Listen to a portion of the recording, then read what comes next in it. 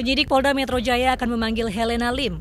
Pemanggilan Crazy Rich Jakarta Utara ini terkait vaksinasi COVID-19-nya di Puskesmas Kebon Jeruk. Sedianya Helena akan diperiksa hari ini, namun pemanggilan akan disesuaikan kembali dengan kegiatannya. Polisi telah meminta klarifikasi pihak Puskesmas terkait vaksinasi Helena. Sebelumnya, video vaksin yang dilakukan Helena Lim viral di media sosial.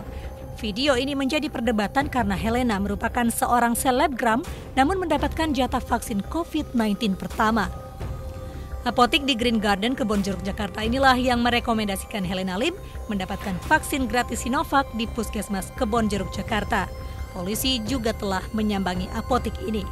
Dari keterangan pemilik apotik, selain Helena Lim, sebanyak 11 orang mendapatkan rekomendasi suntik vaksin Sinovac di Puskesmas Kebon Jeruk. Ya, hanya bingung aja. Kita kan termasuk di sini, uh, Bapak lihat kami kan uh, sebagai orang depan ya yang melayani pasien, berhadapan dengan pasien gitu loh Pak. Hmm, harusnya memang kita uh, ya wajar kalau kita mendapat vaksin seperti itu. Di sisi lain, pemilik apotik bukanlah tenaga kesehatan, sehingga tidak seharusnya mendapat suntikan vaksin Sinovac tahap pertama. Dari Jakarta, tim liputan iNews melaporkan.